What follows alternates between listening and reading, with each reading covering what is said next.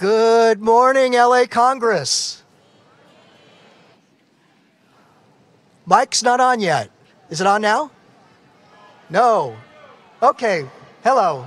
Good morning, LA Congress. Did we have a blessed day yesterday? Amen. My name is Steve Picard, and it's my great uh, privilege and pleasure to be your MC today here in the arena. I am a member of the organizing team for Los Angeles Catholic Bible Institute. This is a program in biblical formation run by the Office of Religious Education of the Archdiocese in partnership with Loyola Marymount University. And so, if anybody's looking for uh, some good biblical formation, doesn't matter what ministry you're in, uh, you can get some information on this wonderful program at the ORE booth in the exhibit hall. I have a few announcements to go over before I introduce our speaker. Uh, first of all, let me ask, just by show of hands, how many folks are here today from our local diocese, either from the Diocese of Orange or the Archdiocese of Los Angeles? Show of hands. Okay, very good. Uh, let me ask next how many are from a diocese of California but not LA or Orange County. So you're from San Diego or Sacramento or even San Francisco. Everybody else from California. Okay. All right, next question. How many are from a diocese not in California, but in the Pacific time zone? So somebody from uh, Portland, perhaps, or Washington, or Seattle. Yeah, amen. God bless you. Okay.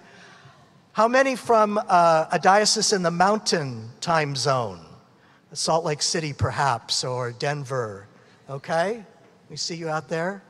All right, here's a question. How many came from east of the Mississippi, American diocese east of the Mississippi? Okay, welcome. One more question. How many people had to get on a plane or a boat and cross a big body of water? I'm thinking Atlantic or Pacific, okay? God bless you all. Welcome. We are truly a religious education congress, not only for the local church, but for God's church throughout the world. So thank you all for being here today. Yes, thank you. Let me draw your attention, if I could, to some of the rules and regulations on page seven of your program book. Okay? Very first one I want to uh, draw your attention to is at the very top of that page that says, by your attendance at these events, you are granting your permission to be photographed, videotaped, so on and so forth. I need to let you know that has special meaning for all of the events here in the arena. You see our cameras in the back and around the side. Uh, you could be on camera at any time. So, if you are happy, please let your face know. And if you think that you need uh, a couple of extra minutes of shut eye, you might want to go to the very top rows. Okay? Just saying. Not only might you appear on any either of our monitors here to my right and to my left, but uh, Director Linda in the back actually has four screens that she looks at, one for each camera, and one of the cameras is roaming around. So you could be, even if you're not up here, you could be on her monitor, okay? And then she has to make the decision is that person looking happy and blessed today? And if the answer is no, well, you're never going to make the big screen. So, um, just saying. Uh, you might want to check your uh, noise making devices and turn them to silent or stun, whatever setting uh, will not cause uh, noise and grief to your neighbor. That would be much appreciated. We do need uh, ministers of Holy Communion to assist in the distribution of communion here in the arena liturgies. So if you are uh, a minister of communion at your parish, uh, would you please see uh, the folks at the table in the sacristy, which is located, I'm pointing to my right. For some of you, that's going to be to your left. Uh, it's at the west entrance of the arena. That's the entrance on that side. That's where the sacristy is. There are folks who are taking names for volunteers. If you are a Eucharistic minister, please consider uh, volunteering your time here uh, for the arena liturgies. And now, with your kind permission, I would like to uh, lead us in a prayer uh, to begin our session today. So let us be aware and attentive that we are in the presence of God. We always are. Let us begin in the name of the Father, and of the Son, and of the Holy Spirit.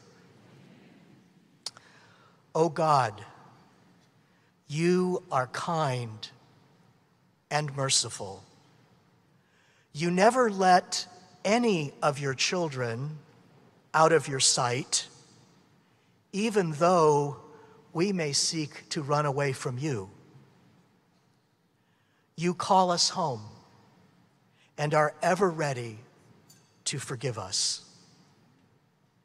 Give us a heart that is always open to your grace, that your mercy may overflow in us. Give us hearts of courage that we may never shy away from what justice demands.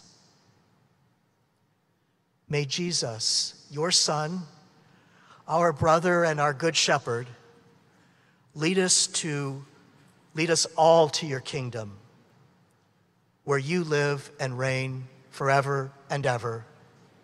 Amen. My friends, you are in workshop 4 1, speaking prophetically for justice, principles for Christian prophecy, and our wonderful speaker, Father Ronald Rolheiser. Father Ronald Rolheiser is a Roman Catholic priest and member of the Missionary Oblates of Mary Immaculate. He is president of the Oblate School of Theology in San Antonio, Texas. He has his PhD in sacred uh, theology doctorate from the University of Louvain in Belgium. He is a community builder, a lecturer, and a writer. His books are popular throughout the English speaking world and have been translated into many languages. I would like to draw your attention to his most recent publication, Bruised and Wounded Struggling to Understand Suicide, uh, Paraclete Press. In fact, all of Father's books are available at the Paraclete Press booth. His weekly column is carried by more than 80 publications worldwide he was carried for a long time by the Tidings and continues to be carried by the successor publication, The Angelus, which you can get in either print media or electronically. Prior to his present position, Father Rolheiser taught theology and philosophy at Newman Theological College in Edmonton, Alberta. Yeah, we have a couple of folks from Canada. Welcome. He's also served as the provincial superior of his oblate province and on the general council for the oblates in Rome. Please join me in extending a very warm Religious Education Congress welcome back to Father Ronald Rolheiser.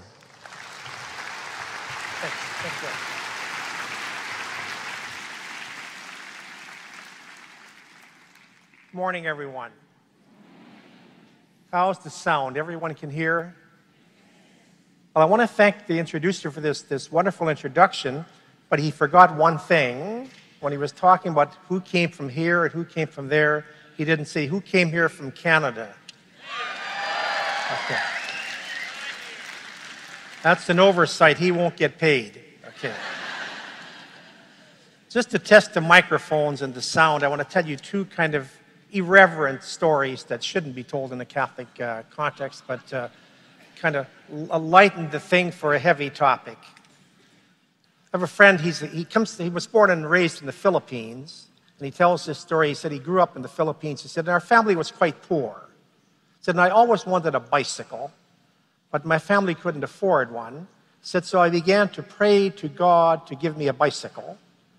And everybody laughed at me. They said, That's not the way God works. You don't just pray for a bicycle, God gives you a bicycle. He said, That's not how God works. He said, So I stole the bicycle and went to confession. He said, He said, Because that's the way God works. Okay.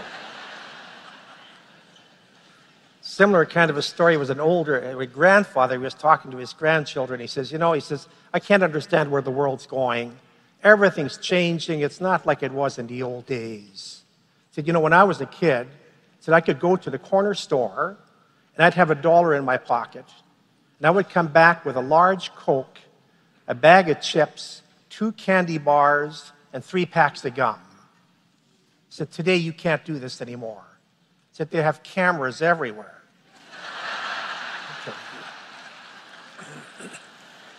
Okay. Thanks for laughing. I wasn't sure where those two jokes were going to go. Okay. Anyway, we have a wonderful topic speaking prophetically for justice, um, thirsting for justice. And my take this morning, I want to give some principles for prophecy. How do we, how do we become prophetic people for justice? And what are the rules for this? So I want to give you what I call 10 commandments for speaking justice. Okay. The first one is this, and it's actually a quote from Daniel Berrigan, who I think was one of the, the, the people who modeled this for us, one of the social justice prophets of our time. And this is a very important line. It maybe encapsulates all the others. To be a prophet means to make a vow of love and not of alienation.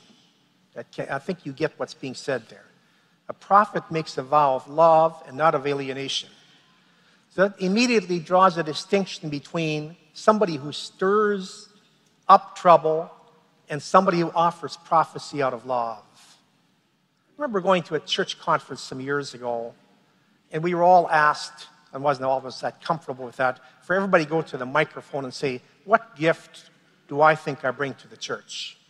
So with a little um, you need a little ego to do that well. so the question is, what gift do I bring to the church? I think I bring to the church. Well, one of the men who went up, who was really known to be a disturber in every kind of way, um, not always for the right things, but he said, I define myself as a prophet. He said, I'm an agitator. I just get into people's faces for the gospel. He said, I'm a prophet.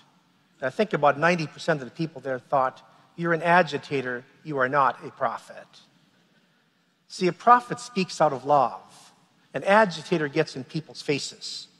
And oftentimes, uh, when we're agitating, like the second line, there's the distinction between operating out of egoism and speaking out of faith and hope. It's easy to be angry, it's easy even to kind of want to speak prophetically, but a lot of times what we're doing is we're just getting even with the world.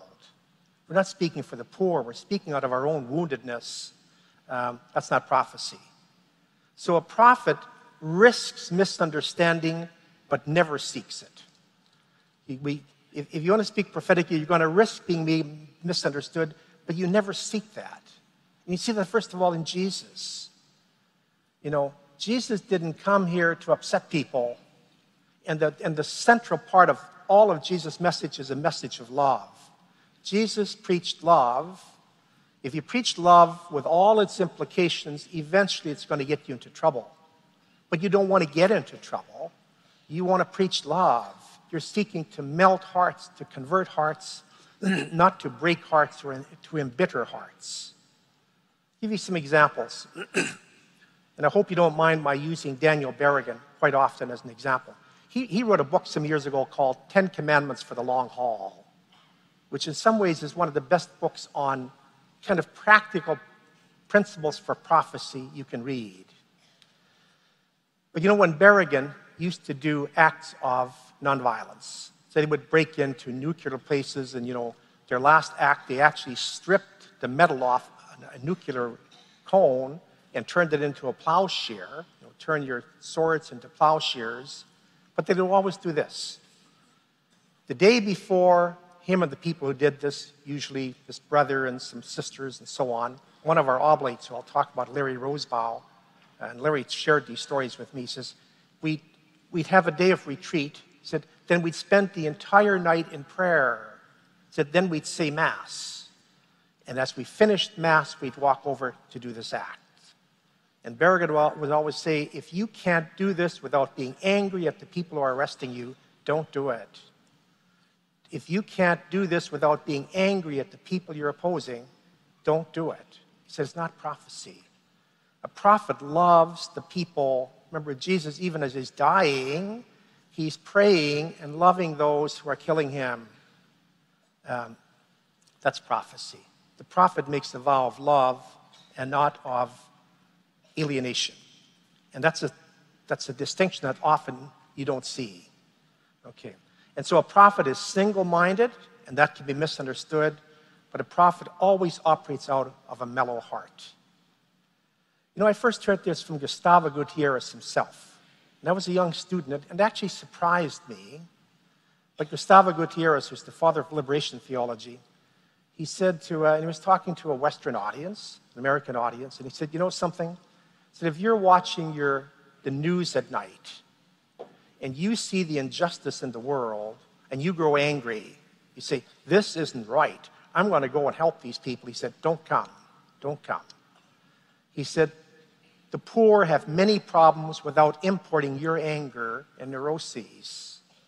He said, They're already unhappy or that they have already problems. They don't need your unhappiness. He said, If you can watch the news or you can look at your life and you can be grateful for what God has done for you, then come and live with us because you'll come as a loving force, not as a force of anger.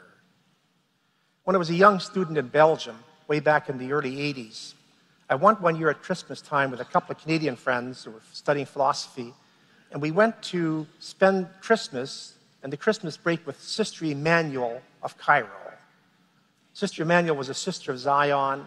Um, and uh, she was a retired teacher, but she spent the last 20 years of her life in Cairo living with the garbage collectors. A lot of people make their living in Cairo, the poor, by sorting through garbage. She built a little shack out there. She lived with them. It was kind of the Mother Teresa of Cairo. So we went to spend this week and a half with her. It was interesting. She had a rule, because a lot of young people would come and join her to work for a while. And she had this rule if they got angry, she sent them home. While we were there was a young woman from Winnipeg, full of, uh, you know, zeal, and she got very angry. Mother, Mother Emmanuel sent her home. She said, no, you don't do this out of anger. It's got to be done out of love. That's the first rule, and it's the major rule. Secondly, okay, a prophet is grounded in a reality beyond this world. And I'll begin with Jesus. And you see this, it's in the New Testament, but you see it most clearly in the Gospel of Luke. You know, in Luke's Gospel, Luke's Gospel is preeminently the Gospel of prayer. You know, Jesus prays in all the other Gospels, but not like in Luke. In Luke's Gospel, there's more incidents of Jesus praying than all the other Gospels put together. And Luke is the only Gospel who gets inside of Jesus' prayer. But Luke sets his Gospel up this way the disciples are very intrigued with Jesus. And they realize that there's something very special about Jesus. And the specialness they notice is not so much that he can walk on water or that he can do miracles. That's not what they're preeminently impressed with. They're impressed with Jesus because he can actually forgive an enemy. Jesus could actually turn the other cheek. Jesus could actually love somebody who hates him, which we struggle to do. So they were, they were intrigued by this, but they realized he was drawing this power, because they were looking to him as a human being. They realized he was drawing this power from a source beyond them. They realized he was drawing this from his prayer. And that's why in Luke's gospel, it's the only gospel where the disciples asked Jesus to teach them how to pray. You know, in the other gospels, Jesus has to volunteer the lesson. He says, Sit down, I'm going to teach you how to pray. In Luke's gospel, they say, Lord, teach us to pray. They're intrigued that how some he's drawing this power from some other place. But then, in the end of Luke's gospel, you have the oops. Sorry about that. Um, the end of Luke's gospel, you have the agony in the garden. And it shows Jesus that prayer and it shows Jesus in prayer in agony. And uh, earlier on, Luke has shown Jesus praying in ecstasy in Galilee when he says, I thank you, Lord, that you've hidden these things from the learned and the clever. In the agony in the garden, Luke said he's sweating blood. And what he's trying to do in the act in the garden, he's trying to keep that link to that source, his father. So he knows he's going to be killed. He knows he's going to be betrayed by people, and he's trying to hang on to that source so he can forgive his killers. So he forgive his disciples for betraying him. And you see, it's a powerful struggle. That it's a, it's a massive struggle, but that's what we need prophecy. If we are trying to be prophetic for the poor in this world, our real source of energy has to come from beyond this world because we won't be able to continue to love the people we're opposing. As Daniel Berrigan says, if you can't love the people who are arresting you, don't do this. We don't have that natural power. That has to come from beyond us. Even Jesus didn't have that natural power. He had to draw it from his Father. Leave you the couple of quotes here, and the second one from Berrigan. He says, Monks have secrets worth knowing. What he's referring to is, you know, monks pray a lot. They have secrets worth knowing that we can't draw this just from ourselves. And he said, if your prophetic stance doesn't save the world, maybe it'll save your own integrity and your own sanity. Thirdly, third commandment a prophet draws his or her cause from Jesus and not from ideology. That's a difficult one. A prophet has to draw from Christ and not from ideology. Begin with a story. A story is worth a thousand words. Some years ago, I was listening to uh, or watching a, an interview with a young woman, and she's an Episcopalian priest from San Francisco. And she's doing a lot of work nationally on the whole question of climate change, the ecology, but she's doing it as a, as a priest, as a Christian. Okay.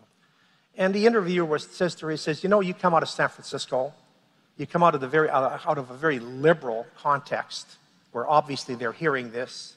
He said, But how does your message, you're traveling across the United States, how does your message go over in Oklahoma? How does it go over in, in Arkansas? What happens in Mississippi and Alabama and in West Texas? How are you received there? And she gave a very interesting answer. She said, I've learned this. She said, I've learned that the cause I'm espousing, if I speak from the gospel, said, sincere people will hear the gospel. Says the second I fall into ideology, said they eat me alive. Says as long as I'm coming out of Scripture, as long as I'm coming out of ecclesial principle and scriptural principle, said sincere people will hear the gospel. Sincere people don't have to hear ideology. But this is really a struggle. Let me just be very concrete. This is one of the great struggles today with both the left and the right. Because then there's prophecy on both the left and the right. Liberals are, can be prophetic, conservatives can be prophetic, but in both cases, you know, in, in the Western world, I won't just pick on the United States, it's, we can't do it cleanly. Invariably, liberal social justice gets caught up with liberal ideology, with liberal causes and invariably, prophecy from the right gets caught up with politics and uh, ideology of the right. And that's why we're so polarized. And that's why it's so hard for us to hear each other. Because a lot of times we're not prophesying from the gospel. We're prophesying as a Democrat or a Republican, or as a liberal or a conservative. Uh, that undercuts our prophecy right off the bat. In prophecy, there is no right or left. There is no Democrat, there is no Republican, there is no Catholic, there is no Protestant. There's only the gospel, there's only the principles of justice, and so on. And um, I think more than anything else, this is the cause, the, the reason why so much of our prophecy is ineffectual, um, along with the other reasons. Now, fourthly, a prophet is committed to nonviolence know, if you've ever seen the movie, and if you haven't seen it, get it and watch it. Um, the, the, the, movie called Of Gods and Men, was done in the late 90s, and it, it's the story of these Trappist monks who were martyred by Al Qaeda in Algeria in 1996. Okay. It's a powerful story. In fact, that's one of the great religious movies I believe has ever made. So not even as a religious story, it's a great piece of cinematography. Just if you just a movie as a movie, but it packs a powerful punch, and it's true to life. It's so true that the director who did it, he tried to make the actors look exactly like the monks. So if you look at pictures of the actual monks, that's what the actors look like. And he took a lot of the dialogue out of the diaries of the monks themselves. But in there, there's a powerful incident. Instance, uh, incident. They are living in this town in northern Algeria, and they're the only four. I mean, they're, they're, they're, they're French, they're foreigners, but they're living in a very poor Islamic town. And they're kind of the heart of the town, even though they're Christians, the other are Islamic. They have this wonderful relationship with the people, and they're actually protecting the people.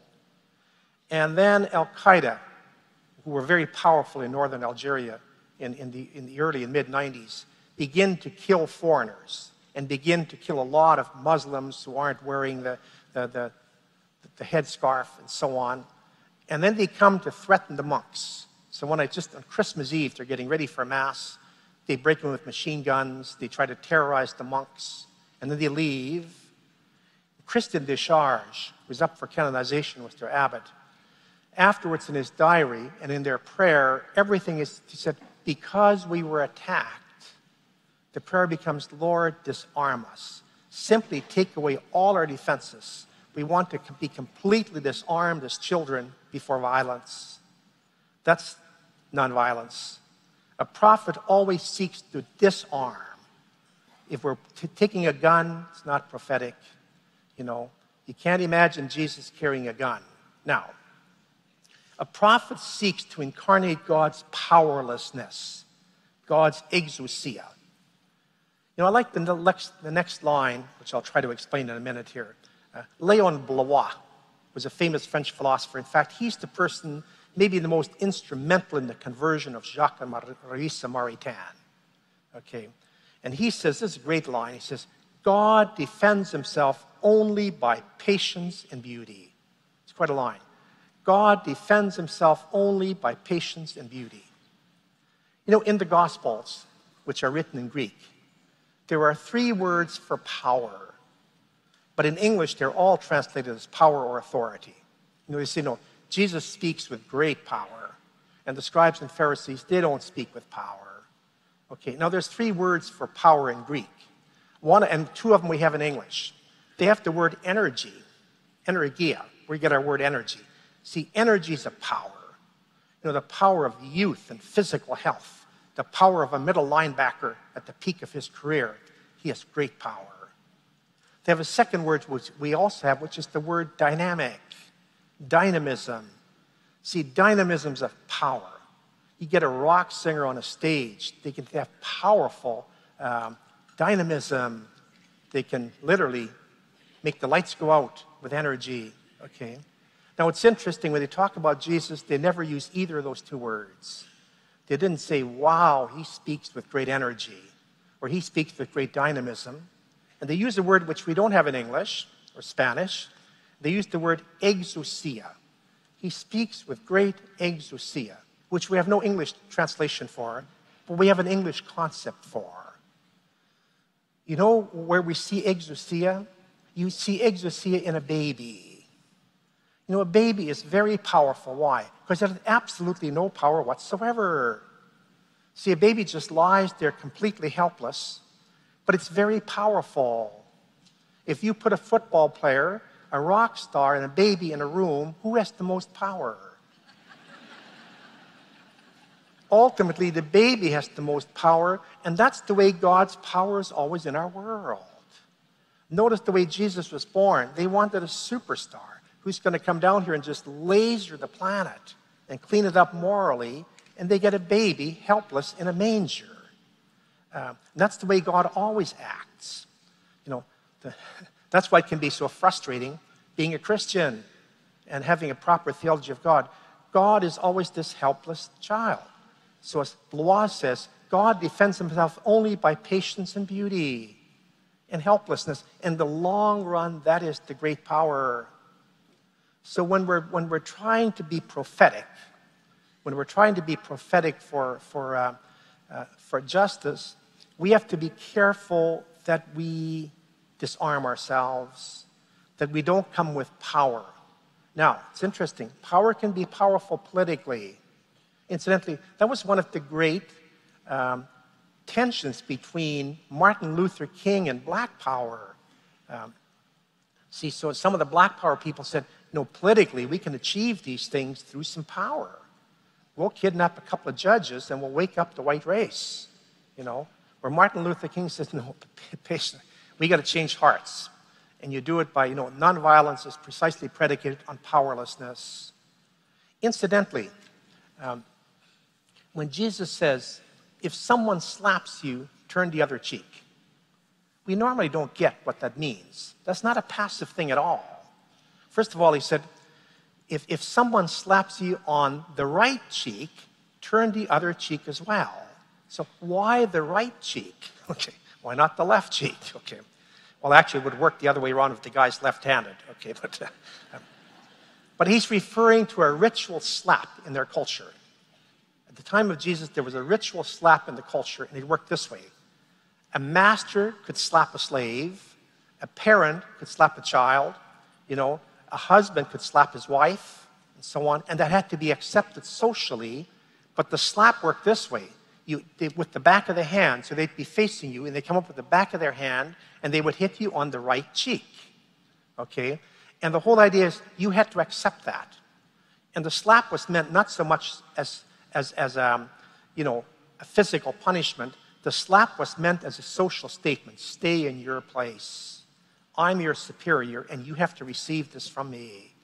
You know, see, so Jesus said, if somebody slaps you in that way, just turn the other cheek, which means they're still slapping you, but you're not accepting it as acceptable. That's what Rosa Parks did when she refused to move to the back of the bus. They could still arrest her and beat her or whatever, but she says, You can't beat me as a superior to an inferior. Muscle power can still hurt you, but it can't hurt you as superior to inferior. See, so nonviolence, as Gandhi showed, as Martin Luther King showed, as Rosa Parks showed, as you know, um, Bishop Tutu and, and Nelson Mandela showed, it's not passive at all. Notice none of them ever brought out a gun or threatened power, but they turned the other cheek. They refused to accept violence on its own terms. Um, God defends himself only by patience and beauty.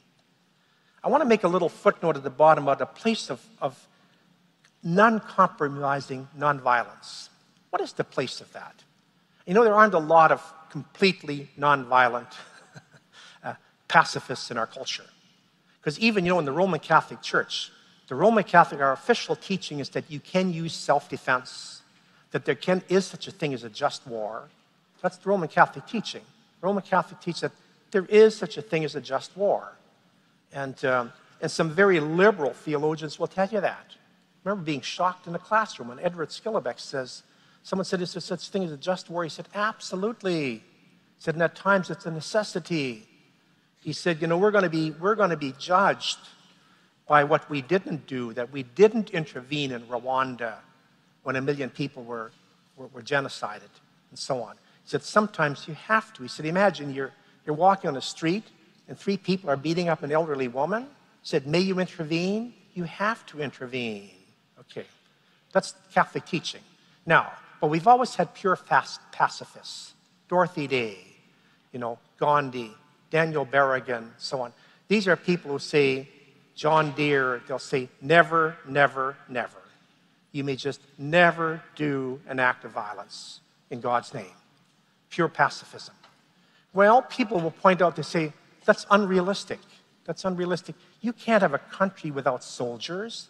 You can't have a country without guns, without policemen.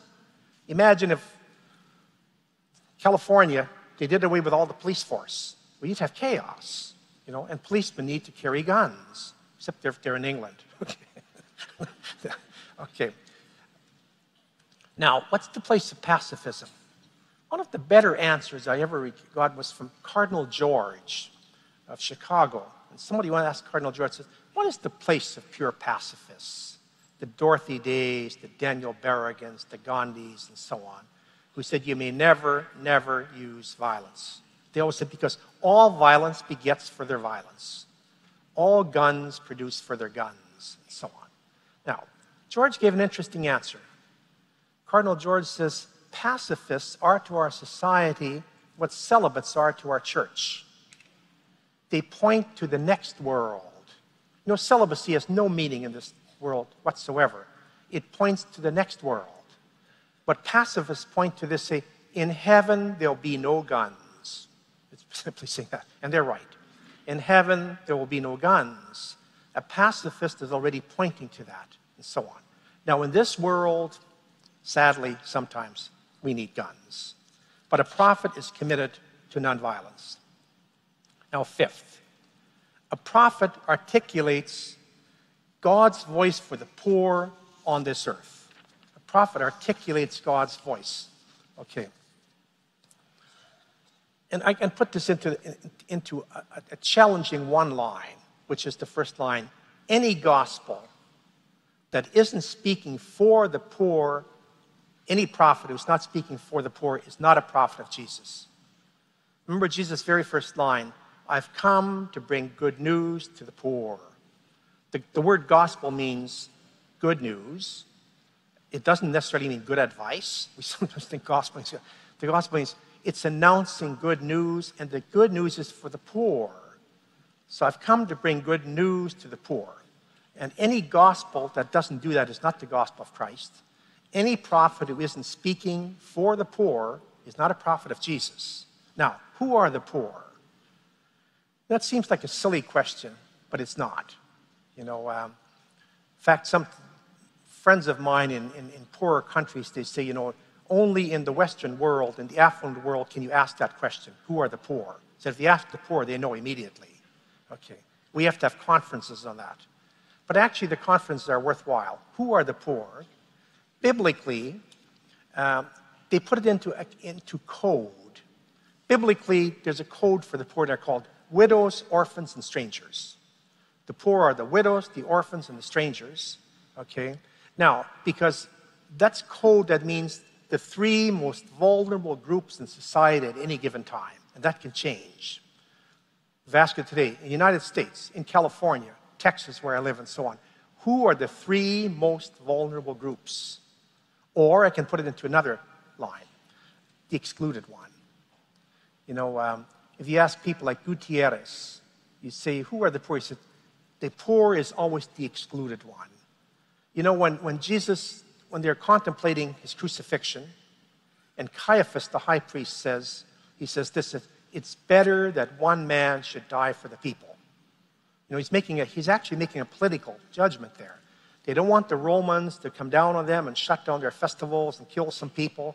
Much better, one person dies. It's going to save a lot of heartache here and so on, you know. But society, we're always saying that about certain groups. It's better that these people should die or should be put away, excluded, than to interfere with our way of life.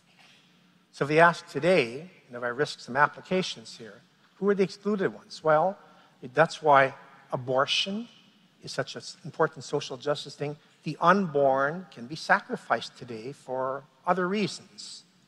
Immigrants, you know, they interfere, they change life, so on. Who are the orphans? Is it the aged? Is it the, the psychologically disadvantaged and so on? But it's always what groups, about what group is a society saying we can live without you? If you're around, it, it interferes with our life. Okay. Those are the poor, and prophecy is always about that group. Christ makes a preferential option for the poor. I'll give you one line just for flavor from Berrigan, where he says, uh, We've added a quality to the church that the crucified Christ never envisaged, the church compatible. Now, sixthly, and that's, that's a mistake on the number there. It's, it's supposed to be six. A prophet doesn't foretell the future, but properly aims the presence in function of the future. You know, we have this silly thing, very popular, that somehow prophets foretell the future. Prophets don't foretell the future. Prophets properly name the present. And oftentimes they do name it as a lament. So the great prophets of Israel, they named the present religious situation, and they would name it oftentimes negatively as a lament, but a prophet doesn't foretell the future. I'll give you some quotes here. Richard Rohr is fond of saying, Not everything can be fixed or cured, but it should be named properly. It's a good line. James Hillman, great philosopher, says, A symptom suffers most when it doesn't know where it belongs. Like that line. Have you ever had this happen? You have some pain in your back, wherever, and, uh, or a headache that doesn't go away, and you start thinking dark thoughts my God, is this cancer? Is it this? Whatever. You see a doctor, the doctor says that is arthritis. Not a pleasant diagnosis, but you know what it is. The symptom has been named, but prophets name the symptoms. Today, we need prophets in this country, we need prophets all over the world to properly name what's happening, you know to properly influence just prophesying freelance from a stage, you know, as an academic. Today, in the entire world, the gap between rich and poor is growing and it's growing exponentially. That's wrong. It doesn't matter who the, who, who the politicians are, that is simply wrong. That's anti gospel, it's anti Jesus, it's anti Christ, it's anti our faith. You know, we have to keep saying that. You know, uh, we don't predict the future. We say, this is wrong. This shouldn't be, okay? John of the Cross says the language of God is the experience that God writes into our lives, or, you know, learn to read the signs of the times. Um, and, uh, you know, it's interesting, I've asked you this. It's an interesting, do, do this sometime in your Bible groups and so on, is to take, to seek for biblical images that name the present moment. So it's like, what, what is the present moment? priest friend of mine said he once had a group together in a parish, and he says, What is our present moment? And some woman said, Sodom and Gomorrah. okay, okay. Well, she may not be right, but she speaks an entire volume in that one sentence. She didn't say, Well, we're in a postmodern world of relativity of this and that, and such a Sodom and Gomorrah. But you know, a lot of uh, people that I read who I think are prophetic, and they'll use images like they'll say, We're we're in the belly of the whale, or we're in the desert, we're in the exile. I remember once in class in Belgium, somebody asked Edward Schillebeeckx just that question. they said, Professor Schillebeeckx, if you had to name one biblical image where we're at today, he didn't hesitate. He said, We're on the road to Emmaus. We're on the road to Emmaus. We're, we're walking away from experience of faith that we had as kids, which was crucified. We're depressed. Christ is walking with us, but we haven't recognized the Christ that's walking with us. See, that's, that's prophecy. Prophecy names the present, and you'll never name it deeper than if you use biblical images. Okay. Then, seventh, a prophet speaks out of the horizon of hope. It's interesting, if you're trying to be prophetic and you're watching the news every night, unless you are completely asleep, you're not going to be able to do it. You won't be able to do it out of wishful thinking or optimism. See, we often confuse hope with two things that it's not. Hope isn't wishful thinking, and hope isn't optimism. So, what's wrong with this statement? Someone says, I hope I could win a lottery. No, you can't hope to win. You can wish to win a lottery. See, because wishing isn't based on anything. Just, well, I wish that I could win a lottery. Hope is based on something. And the same hope isn't natural optimism, where someone says, you know, I'm an upbeat person, and I always see the glasses half full. I'm always upbeat about things. That's a wonderful temperament. It's not hope. You can be full of optimism and have no hope. You can be pessimistic and be full of hope. What is hope? Okay. Um, I'm going to give you a story from Teilhard de Chardin. It's my all time favorite story of hope. Teilhard was a great figure. He was a great scientist, was, was a, a mystic, philosopher, and a visionary. And he was giving a talk one day in which he was, was, was, was a very hope filled talk. from a Christian point of view, how Jesus comes and he incorporates the eschatological age and how that ties into where science is going and the Big Bang and all this. And when he was finished, the man said to him, said, Well, that's a very optimistic view of things. He said, Suppose we blow up the world with an atomic bomb. Then what happens? Teilhard said, Well, that would be a two million year setback. Okay. okay. No, that, that, that would just be a two million year setback. It would be an act, an act of colossal stupidity and so on. He said, What I say is going to happen. He said, Not because I'm wishing it, not that I'm optimistic it's going to happen. He said, It's going to happen. Why? I said, Because Christ promised it. And in the resurrection, God shows that God has power to deliver on that promise. It's the best definition of hope you're going to hear. Hope is based on the promise of Christ and God's backing up of that promise. What is the promise of Christ? Well, I'll put it into very simple language. The great line from Julian of Norwich. Julian of Norwich, the great mystic, she's famous for this line, for many other things too. But remember her line, she says, In the end, all will be well, and all will be well, and every manner of being will be well. To which Oscar Wilde added a nice little line. He says, And if it isn't well, it's still not the end. You know, none of you ever woke up dead yet, and you won't. Okay. So Julian of says, The end of our story is written. The end of this planet is written. It's written, and it's going to all will be well, and all will be well, and every manner of being will be well. Jesus preached that, and they killed him. But God raised his dead body from the dead. That is the foundation of Christianity. Remember, Paul says, if you don't believe that, and if that never happened, we're the most deluded of all people. See, our hope is based on something concrete. Christ promised this. God delivered and shows that God delivers on the promise. So we can live our lives no matter what's happening, no matter what situation we're in, no matter how terrible it is, no matter if we're dying of cancer, no matter what's happening, the end of our story is written and it's a happy ending. Then we can live in the face of that. We can preach hope even when things seem hopeless. Otherwise, we can't do it. You know, they tell wonderful stories about uh, Bishop Tutu. Um, the Episcopalian Anglican Bishop of Cape Town, and who was one of the major figures in bringing down apartheid. And they say at the, at the peak of the struggle against apartheid, he'd be preaching in the cathedral on a Sunday morning.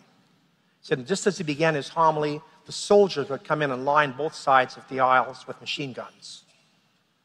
And Tutu would smile at them and say, Well, I'm glad you came to church. He said, I'm sure your mothers are happy about that. But then he'd say this He said, I'm glad you came to join the winning side. Said, We've already won. He wasn't talking about apartheid. He was talking about, in the end, all will be well. He was talking about the resurrection of Christ. You know, as Christians, we sometimes forget this. We don't have to save the world. None of us have to save the world. The world is already saved. That's our Easter. That's what we're going to celebrate in five weeks. The world is already saved. We only have to live in face of the fact that we believe it.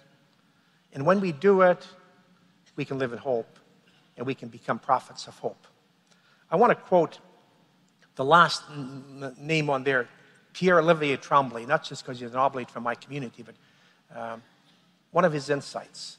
He spoke at our school some years ago, and it was a, it was a, the theme wasn't hope. The theme was actually on youth how can we reach out to youth? Why aren't youth coming to church? And so on. And at the time, he was the chaplain, a chaplain at the University of Laval in Quebec, Canada.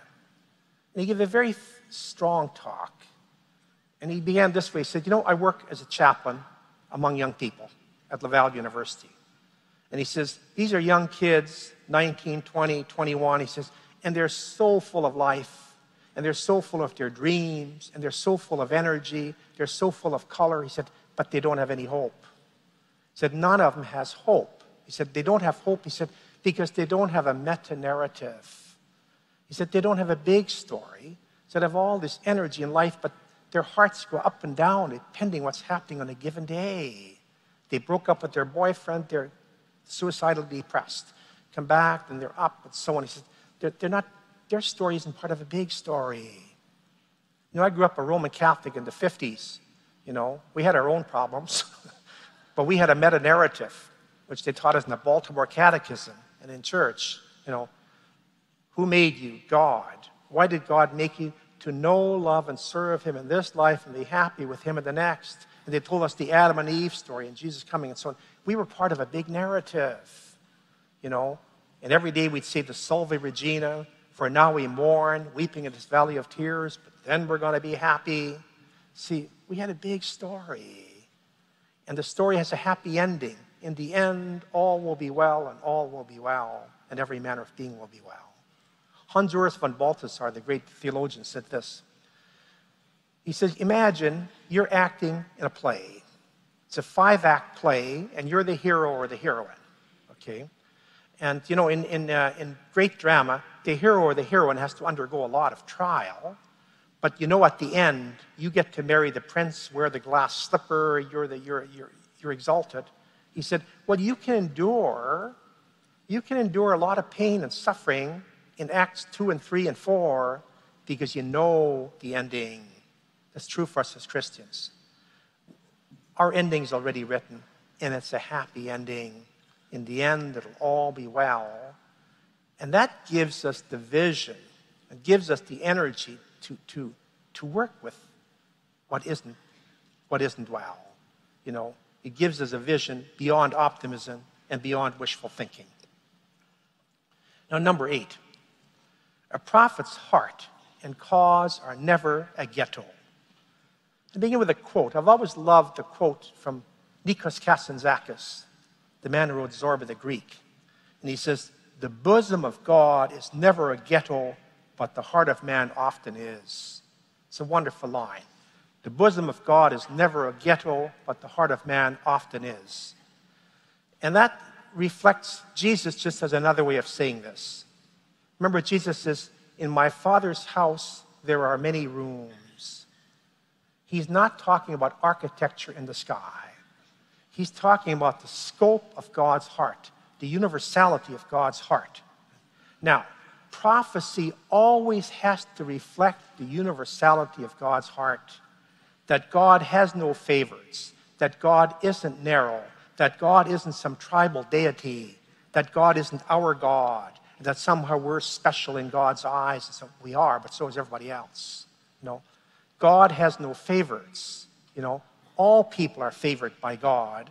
And um, bad prophecy is always signified that it's narrow. It's about one thing. It's about one cause. It's about, no.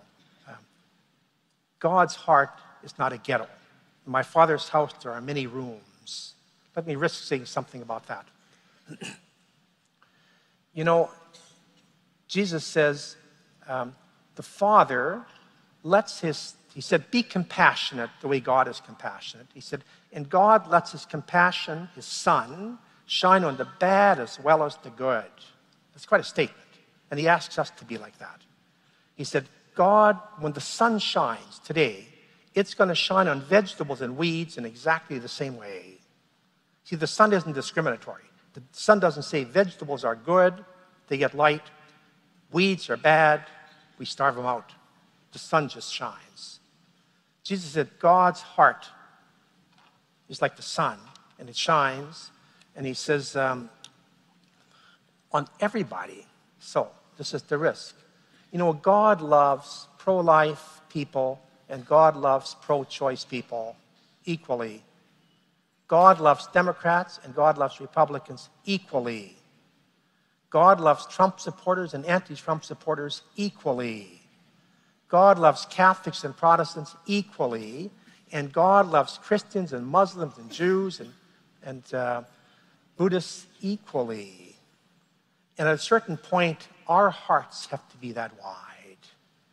You know, Socrates once said this, and I love it.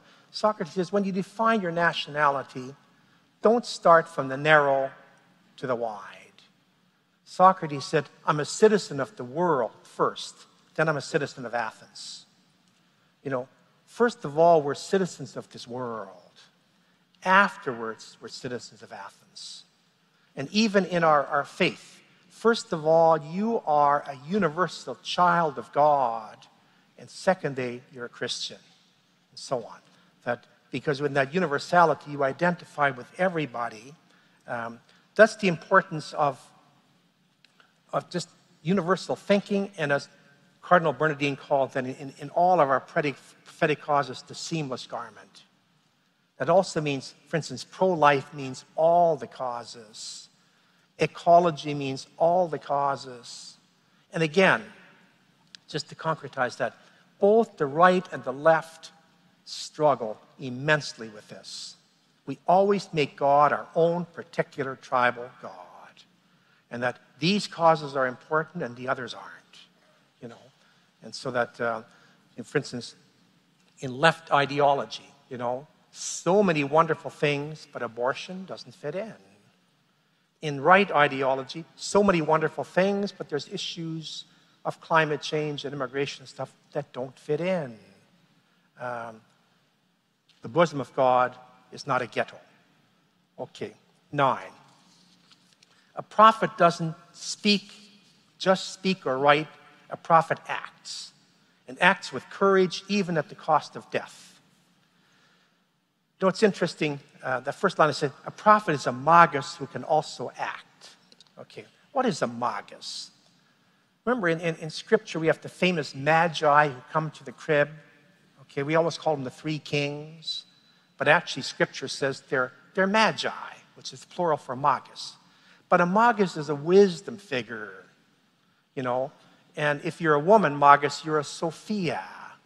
You know, a woman, a Sophia, that's a magus. If you're a man, you're a magus. Okay, these are people who, they're wise. But you know what the congenital flaw is with maguses? I am one, I live with one, is that we can write about it, we can speak about it, but we can't act. okay.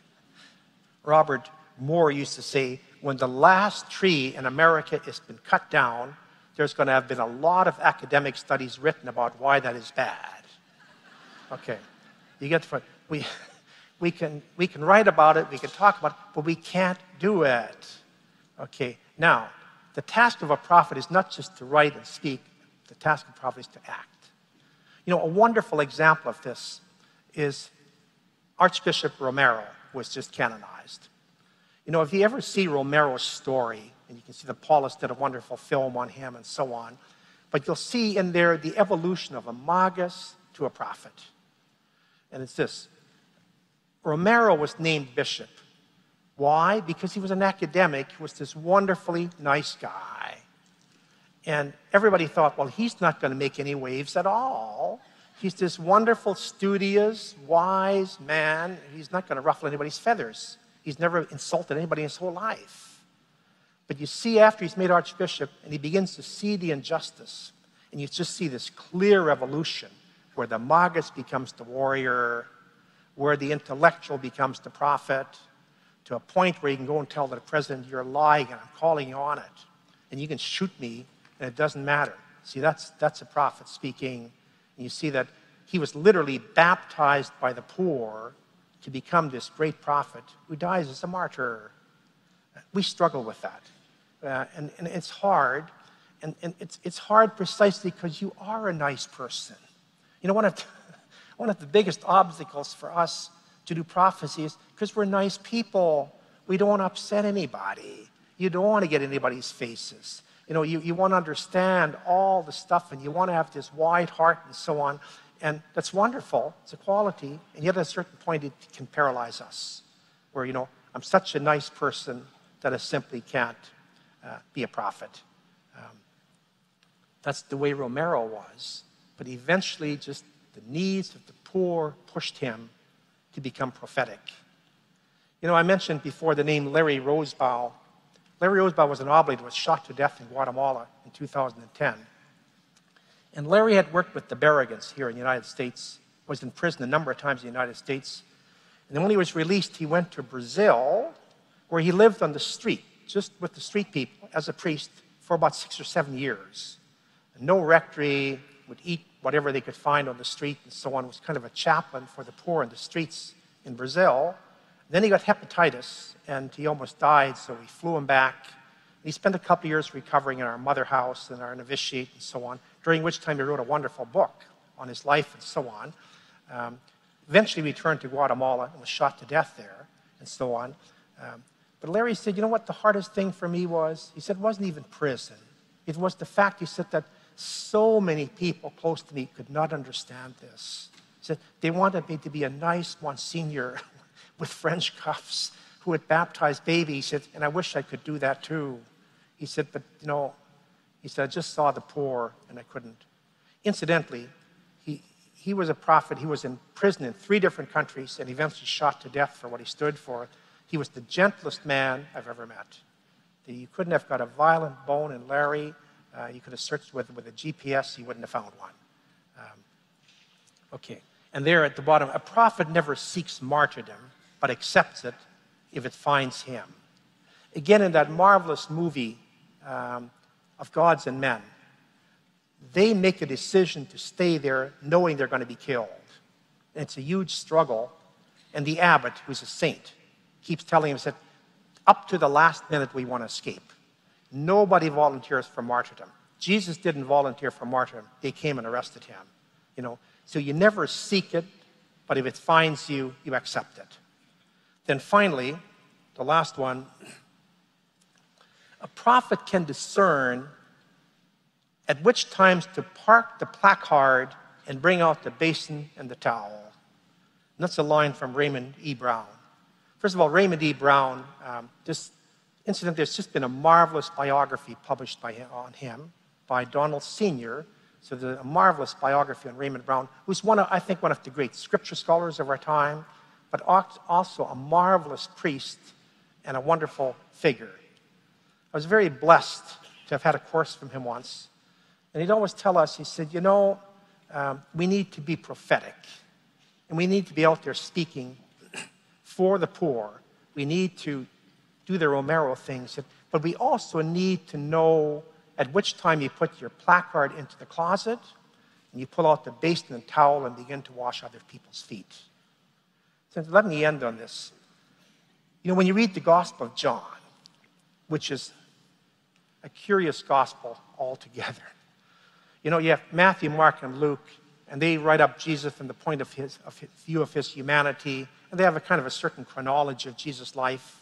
John hasn't got any of this. John's gospel was written much later, and in John's gospel, there's no humanity to Jesus. He's God from the first line. The beginning was the Word, and the Word was with God, and the Word was God, and the Word became flesh. So in John's gospel, Jesus is God walking in human flesh, okay? And then he has a very curious take on the Eucharist and the Last Supper. You know, in the other Gospels and in St. Paul, the Eucharist is instituted at the Last Supper. Okay? In John's Gospel, there is no bread and wine mentioned at the Last Supper. Okay? And in the other Gospels, the Last Supper is one paragraph. In John's Gospel, it's over half of the entire Gospel is a, is a speech Jesus makes at the Last Supper, you know. But in John's Gospel, the Eucharist is attached not to the Last Supper explicitly, it's attached to the feeding of the manna. And incidentally, Roman Catholics in this room, that's where the Roman Catholics get our theology of daily Eucharist from John's Gospel. John's community probably had Eucharist every day. The others probably didn't, because John ties it to the manna. It's God's daily feeding of his people. Okay? But then when he gets to the Last Supper, he doesn't mention bread and wine. And when the others bring out bread and wine, he brings out the basin and towel which is for John, he's explaining the meaning of the Eucharist. You know, and what is the meaning of the Eucharist? Well, John's gospel was written somewhere between 95 and 100. So Jesus has been dead for 70 years. And John would have seen a lot of church life in 70 years. And church life then was like church life now. now. They fought about everything. okay. And they had different theologies of the Eucharist, of who could preside, and so on. They had all of our problems. So when John gets to the Eucharist, he says, This is what the Eucharist means. Jesus got up, took a basin and towel, and began to wash his disciples' feet. Now, what's the meaning of that gesture? Okay. Well, in John's gospel, everything has about three levels of meaning. And we get the first level. The first level is this is a wonderful act of humility. See, the master washes the servant's feet. Beautiful poem by John Shea. He says, At the Last Supper, Jesus got up and he turned the mantle of privilege into the apron of service. It's a wonderful expression. The mantle of privilege becomes the apron of service. It's humility, but it's not just any act of humility. He was reaching across some major social customs of the time. And that's why he also got resistance. You know, what were the customs? Let me rephrase this. You know, today, let's take maybe the most singular, divisive issue in our culture, which is the issue of abortion. You know what John would do if he came back today? He'd say, let's stop arguing. Let's bring out a basin and towel, and let's have pro life wash pro choice's feet, and pro choice wash pro life's feet. Then we'll have Donald Trump wash Hillary's feet, and Hillary wash his feet. We'll have some Democrats wash Republican feet, and Republican wash Democrats' feet. He said, he says, then there'll maybe be some chance for us to have communion. We can have Eucharist. You know, so Raymond Brown says we need to be prophetic, but we also, and it ties to, you make a vow of love, we need to be prophetic but we also need to know exactly now it's time to put the placard away. Now it's time to bring out a basin and towel and to reach across the aisle with a different kind of humility. So those are the, I'll leave you with some, some quotes to, uh, to look at and so on. Um, because of the, the, setup in here, we're not, we won't have question period. I'll be here if you want to ask me some questions and so on. Um, just look at, as we're talking and leaving, you can look at, at these quotes. Um, let me particularly look at the second last one. And these all come from Daniel Berrigan. It says, The payment for birth is blood, the cost of rebirth cannot be cheap. Um, the best way to do, be hopeful is to do hopeful things and so on. So, anyway, we thank you for your attention this morning and uh, happy prophetic times ahead.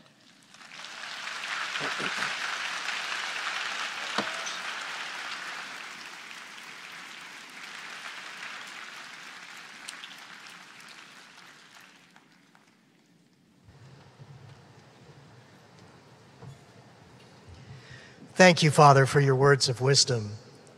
Just a reminder that the workshop evaluations for Religious Education Congress are done electronically.